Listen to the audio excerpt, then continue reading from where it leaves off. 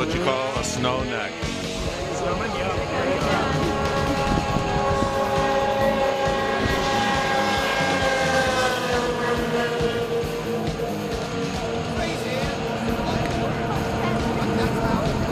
I think he thinks it's a sea-doo, not a ski-doo.